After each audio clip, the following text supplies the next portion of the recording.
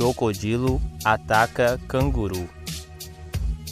Os crocodilos são famosos por ficarem submersos na água, esperando que sua presa encoste para beber água ou se refrescar. Nesse vídeo vemos que a sua presa está ali cansada e vulnerável. Esse foi o cenário ideal para esse crocodilo.